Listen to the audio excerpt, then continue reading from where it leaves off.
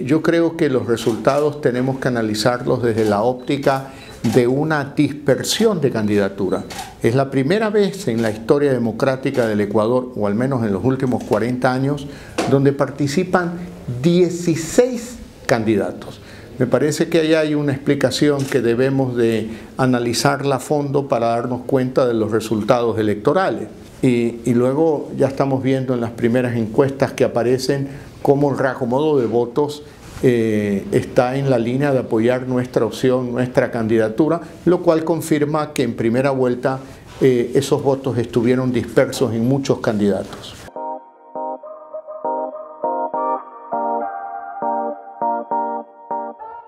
Si usted revisa el plan de gobierno del año 2013, revisa el plan de gobierno del año 2017 y revisa el plan de gobierno del 2021, los tres planes de gobiernos tienen claramente propuestas de respeto a la naturaleza, como también eh, defender el derecho igualitario de la mujer en el campo laboral y, y algunos otros temas más.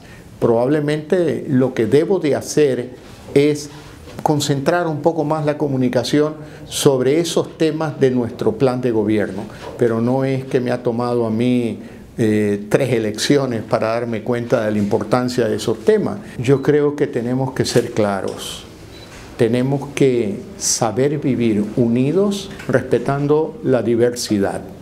El hecho de que yo tenga ciertas creencias en determinados principios y valores no significa que como presidente del Ecuador se los voy a imponer al pueblo ecuatoriano. No, definitivamente que no.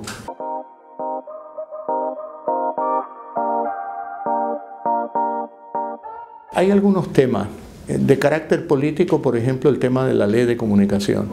Yo creo en la libertad de expresión.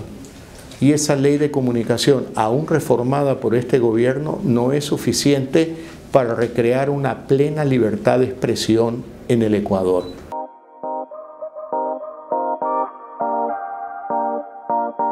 Respecto a, los, eh, la igualdad de salarios no tenemos ninguna discusión. Yo estoy de acuerdo con que debemos de propender a un salario igualitario, derechos igualitarios laborales de la mujer eh, como los tiene el hombre. Por lo tanto, no cabe una consulta popular de ese tema. Habrán otros temas que justifiquen una consulta popular. ¿El aborto por violación tal vez?